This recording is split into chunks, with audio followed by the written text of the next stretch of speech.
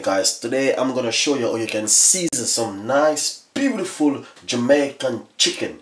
This one is Jamaican chicken. This is like the thigh bit. Really nice and beautiful Jamaican chicken. Well what I'm gonna do today as I say I'm just gonna season it and I'm gonna soak it for 24 hours. I'm not gonna use this chicken until next day. I'm gonna show you how you can season some beautiful Jamaican chicken. This one is Jamaican chicken. Look how I'm gonna do it. In my season bowl today, I got a little bit of some seasoning like garlic, herbs, and seasoning.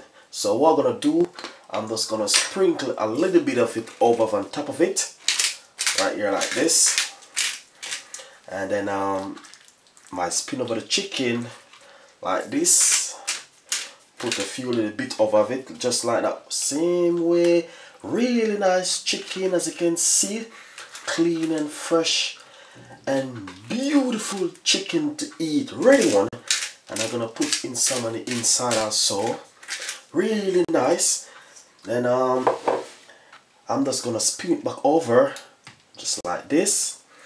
And then what I'm gonna do I'm gonna use my other seasoning and I'm gonna I'm not gonna put any salt at all over this chicken because this, these things already have salt in them this season this one is chili and garlic and season and herbs. I love my herbs. So what I'm gonna do I'm just gonna put some of it just like this. As you can see guys really nice and beautiful chicken today. This one is Jamaican chicken. Really nice and beautiful. I'm gonna give it a little color I'm gonna put a little bit of vegetable oil on top of the chicken. Really nice chicken. As you can see it really nice and beautiful chicken today from Chef Ricardo. This is easy to cook so what I'm gonna do this is gonna be like a baked chicken. Give it a little bit of coloring because I want my chicken to taste really nice and look really beautiful when I take it out of the oven. So uh, normally in Jamaica we normally use chicken seasoning all purpose all mixture of season but today I'm just showing you guys that you don't need every time you season your chicken coloring I'm just gonna use a little teaspoon to give it a little bit of coloring today and the chicken. Because when you take the chicken in the oven I want it not to be too white I want a little bit of color. So I'm gonna use my hand. Guys if you're gonna use it and remember you need to wash your hand.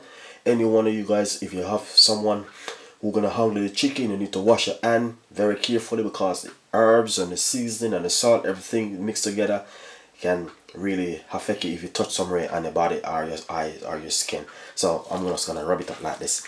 And then you will see we're gonna look really totally different. Really nice chicken. I can see it start to look different. You can see the oil everything is showing on top of it. Really nice chicken as you can see. Really beautiful and nice chicken today and as I say before I'm just using a little bit of olive oil some herbs and chili and some salt and some garlic inside of the the buckler which I'm using. These seasons local you can get them anywhere. Really nice and beautiful.